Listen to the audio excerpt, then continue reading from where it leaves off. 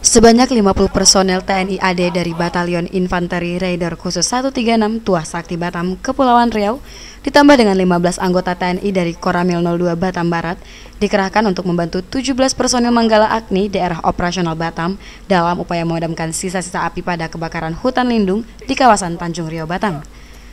Tim ini akan melakukan penyisiran dan pemadaman sisa-sisa api di area kebakaran seluas hampir 40 hektar selama seharian pada Jumat ini, 15 Februari 2019. Komandan Rayon Militer 02 Batam Barat, Kapten Infanteri Robinson Sitinjak mengatakan, misi yang dilakukan adalah dalam rangka melindungi kepentingan masyarakat terhadap kelestarian hutan sebagai penopang utama kebutuhan air baku warga Batam. Mereka akan menelusuri seluruh area hutan yang terbakar dan akan menuntaskan pemadaman api hari ini juga. Jadi misinya bagaimana api tersebut sampai mati karena kemarin heli sudah jalan, sudah main. Perkiraan kami masih ada di terjal itu untuk bagaimana apinya habis.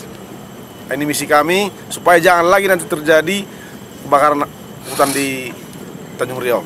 Sementara itu, Kepala Manggala Agni Balai Pengendalian Perubahan Iklim Kebakaran Hutan dan Lahan, Daerah Operasional Batam, Kepulauan Riau, Ihsan Abdillah mengatakan, secara bergiliran sebanyak 29 personil Manggala Agni secara bergantian selama siang dan malam berupaya memadamkan api di kawasan hutan lindung ini.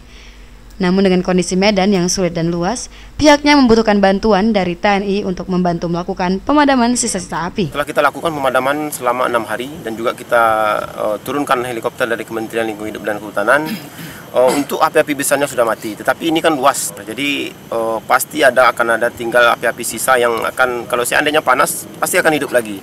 Jadi karena itu kita membutuhkan personil yang banyak dari uh, TNI, khususnya dari Raider dan juga Koramel Kecamatan Sukupang dan anggota kita 17 orang kita akan menyisir hutan ini betul-betul kita pastikan padam 100%. Kebakaran yang terjadi sejak 9 Februari lalu hingga lima hari ini masih meninggalkan sisa-sisa api meskipun upaya pemadaman telah dilakukan dengan mengerahkan 8 unit mobil pemadam kebakaran dan satu unit helikopter.